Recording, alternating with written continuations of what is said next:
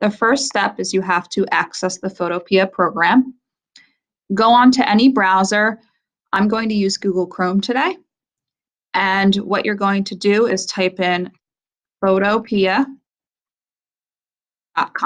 Hit enter. And Photopea is a photo manipulating program, but it's completely web-based. So you can access it really from any device with no problems at all. It's completely free. At this point, you should already have an image that you'd like to work with. Um, if you have an image on your phone, use the OneDrive app on your phone and put the image into your OneDrive app. Once you've shared it to your OneDrive, access it from your one-to-one device or any computer and go to File, Open. You should be able to access the image from your OneDrive. Okay, go to your OneDrive and find the image. So this is the photo I'm using for color selection. Right now it's able to be opened through GIMP, but it can really be any JPEG image. Click on the image you want to use and hit open. That image should pop up. Before we do any type of editing, we want to resize the image so that it fits on whatever we are printing it on, whether you're printing it on paper, we want to make sure it's smaller than the average paper size, which is 8.5 by 11. If you are adhering this to a piece of wood, you also want to measure the wood you're working with. For example, if I'm working on wood that is five inches wide by seven inches tall, I want to make sure this image is very, very similar in size. So I'm going to go to image. I'm going to go down to image size and find out how big or small this image is. You really want to work with inches, so I'm going to click on the um, dimensions over here and click inches so I know how I can work with this image. Right now it's 14 by 20 inches, which is a lot bigger than the wood, and it's also bigger than a standard sheet of paper. My wood is about five inches wide and seven inches tall. So I'm gonna hit five, and automatically it resizes my height. I think five by 6.8 is a pretty reasonable dimension to work with since my wood is five by seven. And I want you to change your DPI to 300 just so we're working with a little bit of a higher resolution. Hit OK, and your image will resize. Okay, so here's my image. It doesn't look different at all, but when it prints, it'll, it'll actually be a totally different size. The next step is I want to name the first layer that I have, which is the original. I'm just going to double click on my layer over to the right and call it original hit enter. And with color selection, the appearance is part of it's in color and part of it's in black and white. But essentially, that's just two layers. So the first layer is the original, and the second layer is going to be black and white. In order to add a second layer, we are going to two finger click or right click,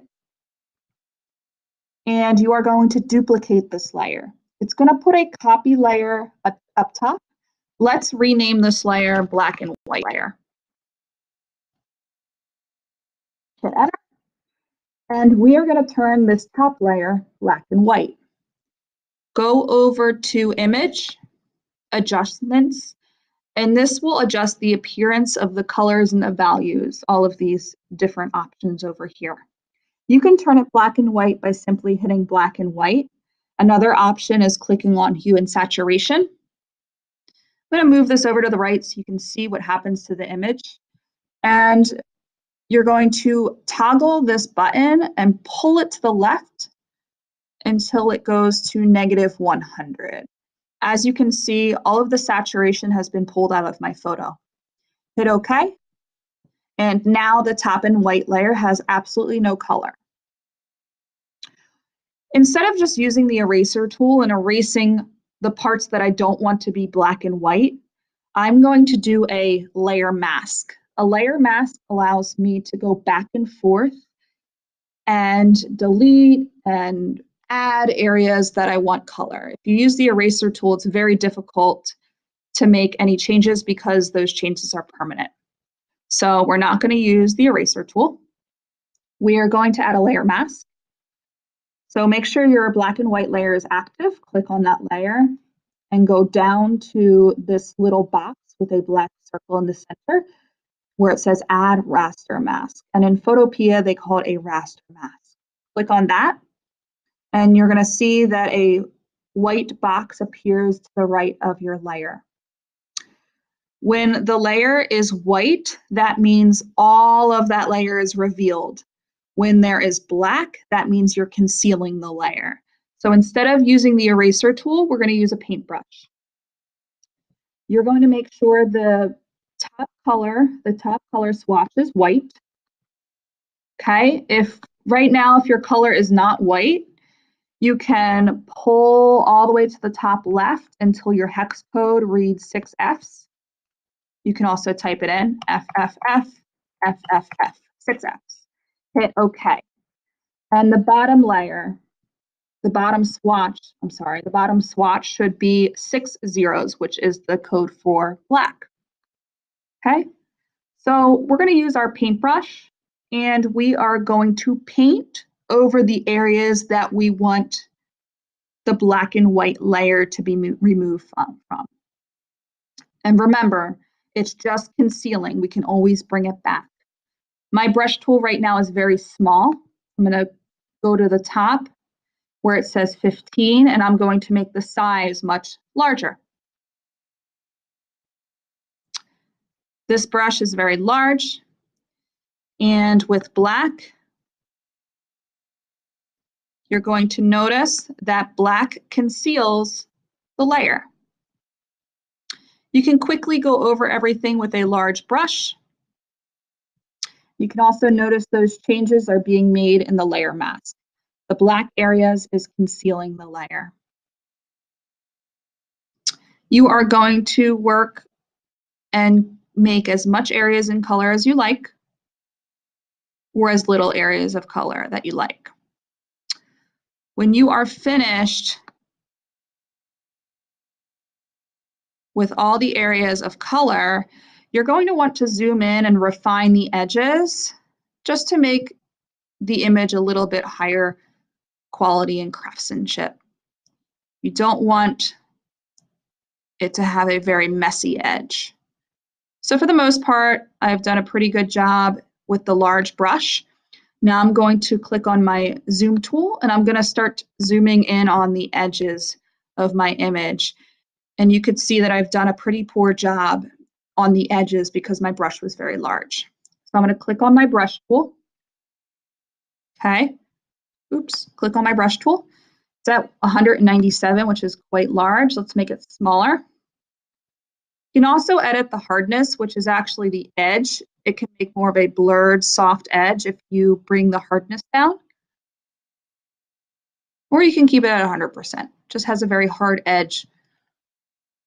Now I'm going to go in and instead of using black, because remember, black is concealing, I'm going to hit the arrow button right here, swap colors, and it's going to bring white, which will reveal the black and white layer.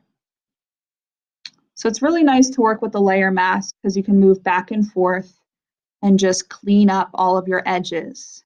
Nothing is permanent.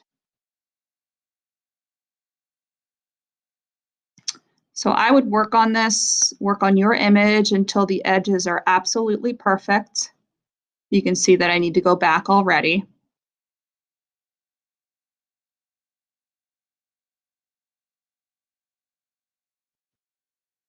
And I'm going to also bring down my hardness a lot. I, I want a much more soft edge for this.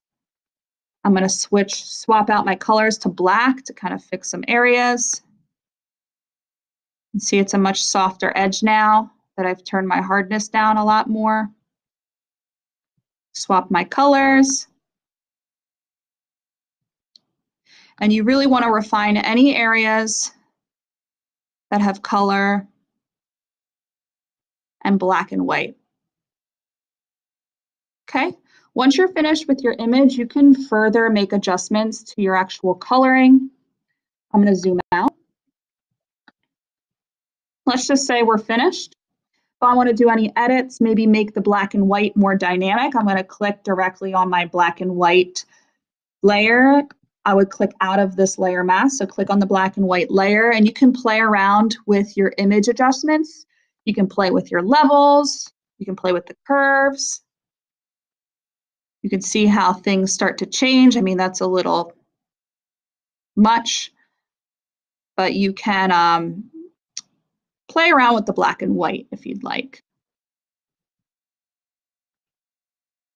You can always go back in your history if you didn't like those changes. You can also play around with the original color layer. Click on the color layer, go to image adjustments, and you can play with color balance, exposure, vibrance. I'm gonna play with hue and saturation. I'm gonna go a little crazy with this. Let's make the hue like green. You might not want this type of effect on the color part of your image, but the option is there if you want to do that. And again, play around with all of this. This is all located in image adjustments. All these different things will edit the appearance of the color of your image. Once you are finished, you're going to hit File,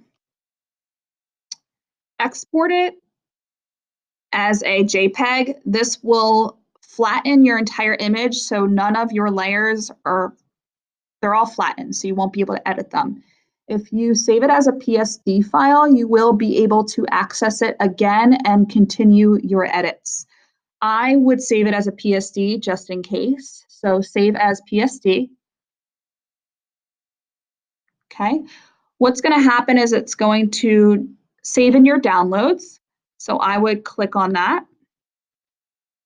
show in folder, and see where it's been saved. So on my computer, it saved it to my downloads, and I want to actually put it in my OneDrive so I can access it from anywhere. So I'm going to click on the file and I'm going to drag it to my OneDrive. So now it's located right here and I can edit it further. So if you want to save the file as a JPEG, which is really accessible and you can open it on any device. And if you're ready to print, I'm going to show you how to export the image. So when you're finished, you can file, export as JPEG. Okay. It's going to download. Well, before it downloads, you want to make sure the uh, quality is at 100%. If it's at anything else, you want to change it to 100. So let's put it back to 100 and hit save. It's going to automatically download at the bottom of your screen in your downloads folder if you're using Google Chrome. You're going to show in folder. And you're going to see that it's saved actually more than once. You're going to see that it has saved as a JPEG. Okay, you're going to drag this to your OneDrive folder.